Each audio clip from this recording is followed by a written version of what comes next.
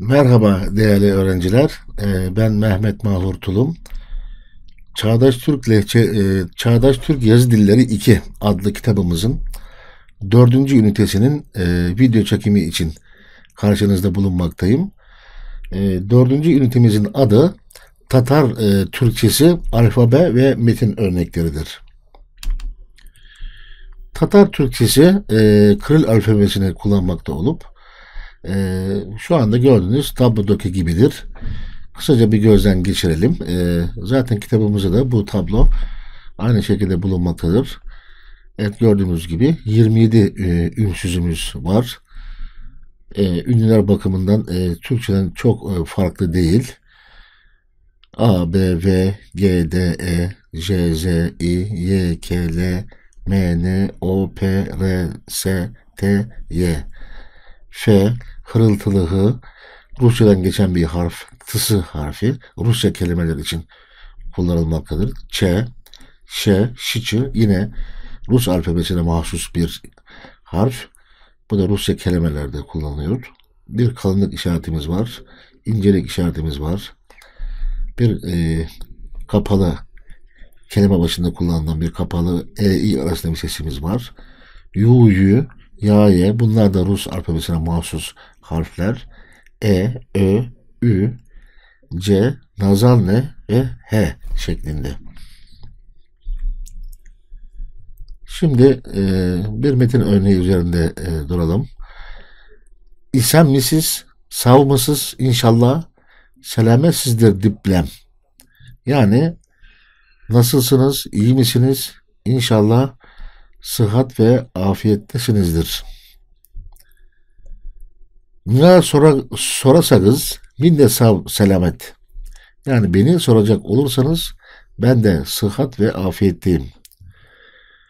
Tanış bilişlerge selam tapşırınız. Tanıdıklara selam söyleyiniz. Bir e, başka metin üzerinde duralım.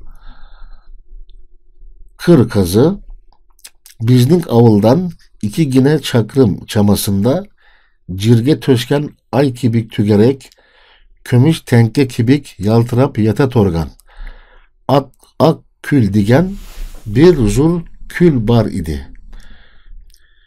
Küllik ingi döş, tört beş çakrım çamasında bulganlıktan anın bir yagından ikinci yagında bulgan nerseler küzge çak çak kına kürneler ide.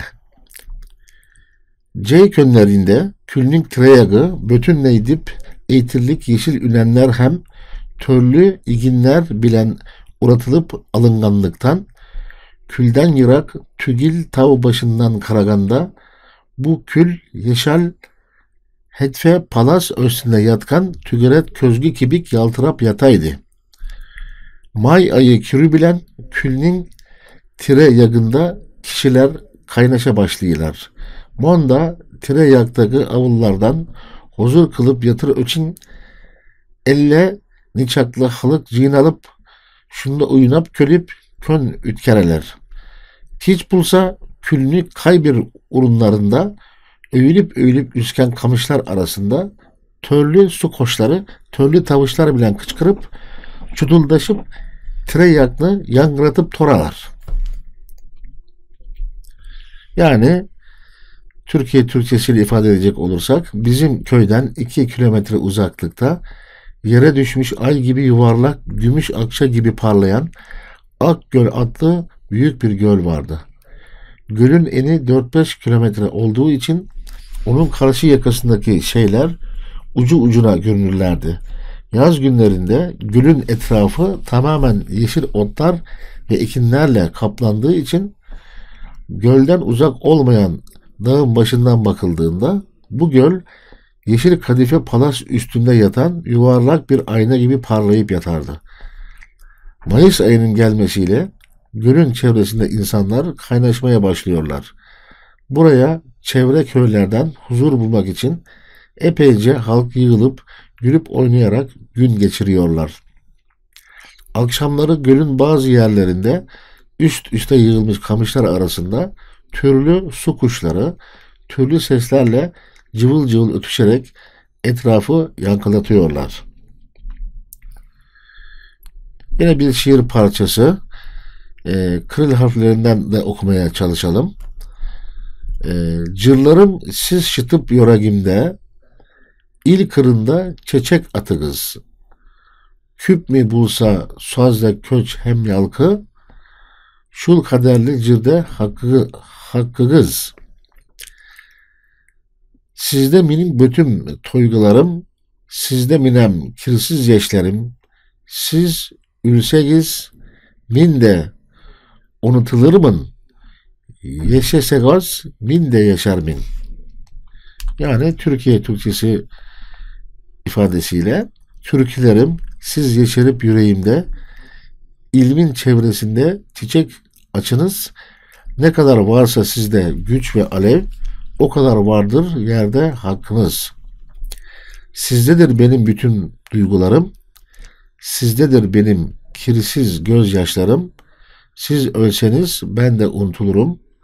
Siz yaşasanız ben de yaşarım. Şimdi bu üniteye ait e, iki tane e, soru üzerinde duralım.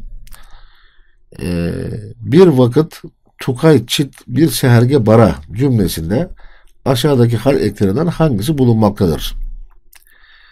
A. Yönelme B. Bulunma C. Ayrılma D. Yükleme E. Eşitlik Evet bir vakit Tukay Çit bir seherge bara cümlesinde aşağıdaki hal eklerinden hangisi bulunmaktadır? Evet bakıp doğru cevabı bulmaya çalışalım. İkinci sorumuz ise masaymak fiilinin karşılığı aşağıdakilerden hangisinde doğru olarak verilmiştir?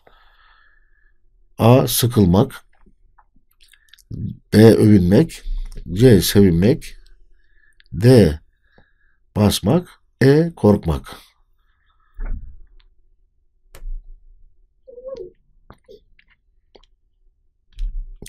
Evet, sekizinci sorumuzun cevabı A şıkkı olacaktı. Yani yönelme. O da seherge kelimesinde gördüğümüz gibi. Bir sonraki sorumuzun cevabı ise B şıkkı. Yani masaymak fiilinin anlamı övünmek olacaktı. Ee, bir sonraki video çekimi için e, şimdilik hoşça kalınız.